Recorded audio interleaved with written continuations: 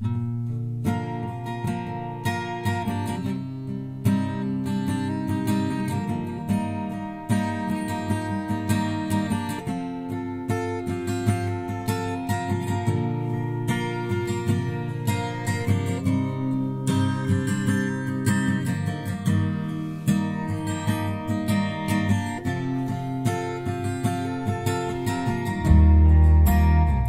everybody, it's Charlie from Daily Motor.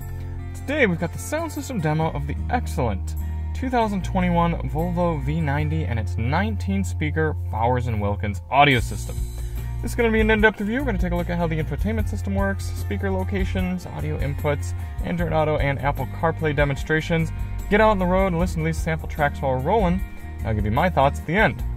If you don't want to hear any of the mumbo jumbo at the beginning and you just want to hear audio demos, go ahead and click through. We've got chapters in the video, and you can get to the part where we're driving and just listen to the music. Before we get started, let's hop out, just take a quick look at the car. This is the V90 Cross Country, technically. So it is the highest end wagon that Volvo makes. Coming in here at a cool $67,000. Nicely outfitted. It's a wonderful luxury car. Going to see more on the V90? Check the links in the description for our full review and our highway fuel economy test. We always do this test with lossless, uncompressed audio files on a USB stick plugged directly into the system, and high quality binaural microphones in both of my ears, giving you the most realistic audio system demo on YouTube. We also do the test with the sound settings set to their factory defaults. Let's take a look at those now. The Volvo Sensus infotainment system working quite well, always gets computer upgrades and runs faster and faster. It is one of my preferred systems on the market, although it's not for everybody. Two ways of adjusting audio controls. You can pull down here, go into sound settings, and you've got a standard front, rear, left, right fader and balance, and then treble, mid-range, sorry, no mid-range, just treble, bass, subwoofer, and a full-fledged equalizer right here with a few presets, warm, bright, dynamic, custom. We're not going to go through all the EQ settings, but we will go through the treble, bass, and subwoofer.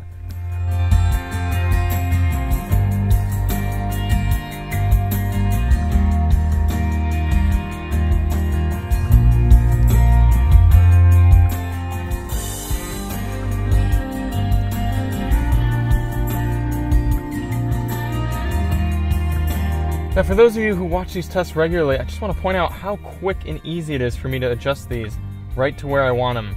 You've seen in other cars, I'm fidgeting around, it's not always easy to move these little touch sliders, but this one works really well.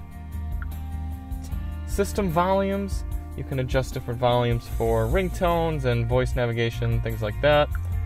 Then you can also go to the right side of the screen here and click this sound experience, and that brings some other options for you. You've got studio mode, which is going to give you more of an, unaltered, an unaltered audio experience. You can have that for all seats, focused on driver or rear. Then you have individual stage, which I like listening to. Gives you a little bit of a 360 experience. I like to have it around 33% intensity and 180 degree envelopment. You can mess around with that. We'll go through once the song picks up here and sample some of those. On top of that, you have Concert Hall. So that's supposed to replicate the Gothenburg Symphony Orchestra Concert Hall in Gothenburg, Sweden. And then new for the 2021 models, the Jazz Club option. So it's supposed to replicate the Nefertiti Jazz Club in the heart of Gothenburg. Those are both kind of neat. I do find myself using those every now and again, but mostly I use individual stage. This is about where I usually have it set. You can also go full intensity, full envelopment, and all the way down.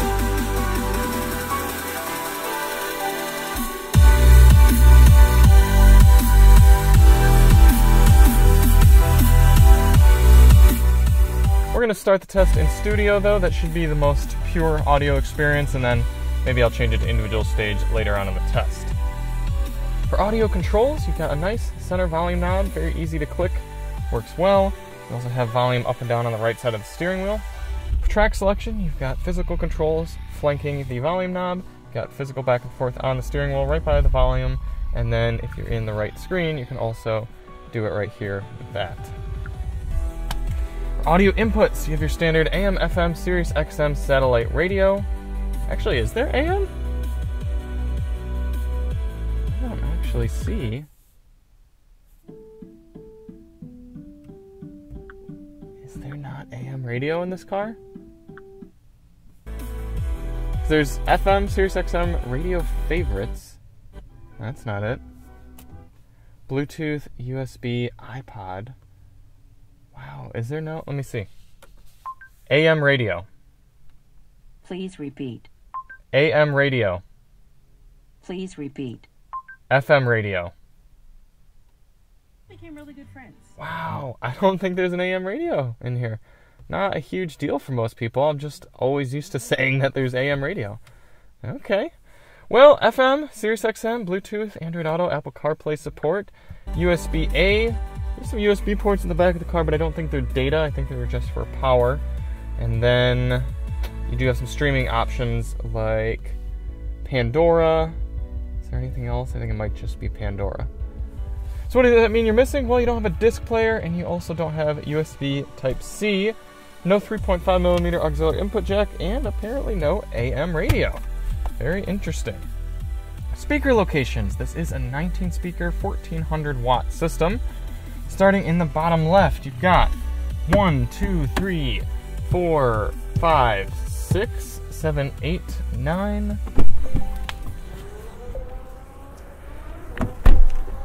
10, 11, 12, 13, 14, 15.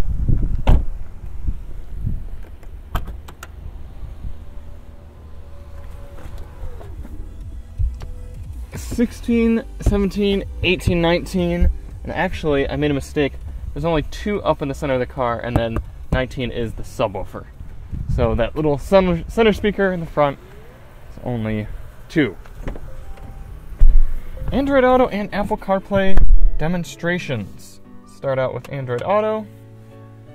On that there, I already got it brought up. You see it sort of brings it up in this small area of the screen. It's still perfectly functional, works really nicely, good refresh rate, very responsive, but it doesn't take up nearly as large section of a screen as some other vehicles. Pop in Apple CarPlay. That was the first time I've actually had to answer a prompt on my iPhone to get CarPlay to work. But there you see it, looks really nice. Works super well. Very straightforward. All right, let's get on the road.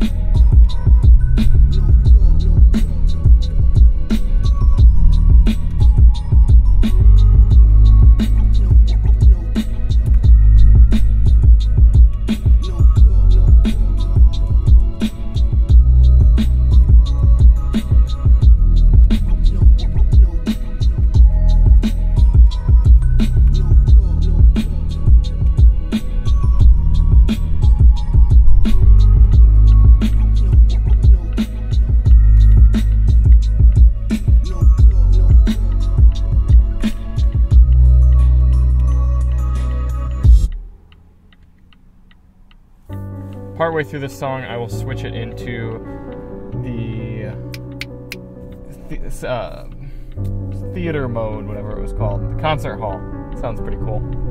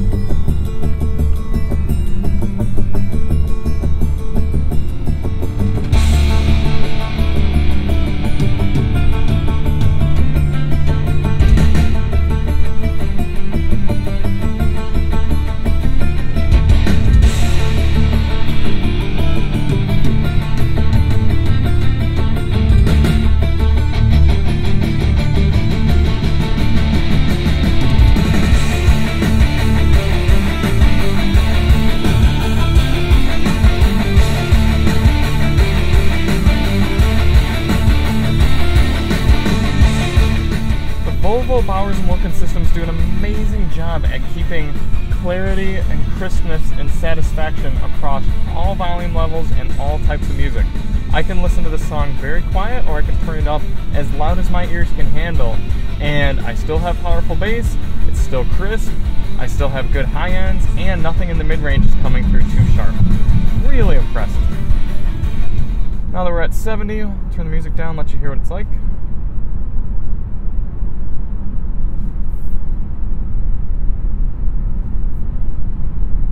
Very refined, very quiet, no surprise there. This next song, turn the bass all the way up and the subwoofer all the way up.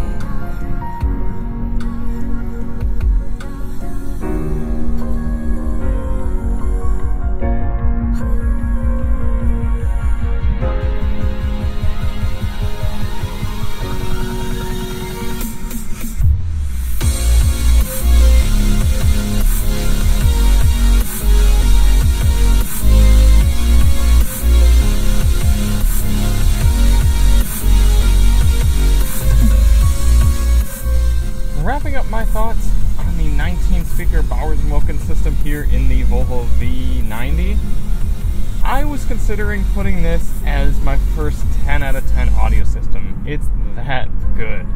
Then I realized it's just as good as the Volvo XC90 systems. So I, what I really need to do is start knocking everything else I rate down a little bit more because this is pretty much as close to a 10 out of 10 as you're going to get outside of a Rolls Royce or maybe I haven't heard an S-Class Burmester system, but that's probably way up there as well. but put it this way, there's no car in my recent memory that's been this good. Even the Cadillac Escalade, Escalade had a tad bit more impressive power, but in terms of overall clarity and crispness, the V90 wins. I would also put it above the ELS system in the Acura TLX for loud listening. For easy listening soft music, the ELS is a little bit more impressive, especially if you're listening to 5.1 surround tracks. but for all music, the V90 sounds tops. So I'd be giving it a 9.5 out of 10. Very, very close to a 10 out of 10.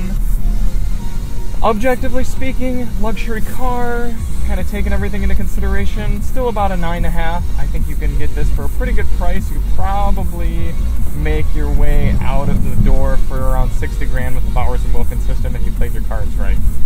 Thank you all so much for watching. If you want to see more on the V90, check the links in the description, and we'll see you on the next one. I'm Charlie from Daily Motor, and as always, drive on.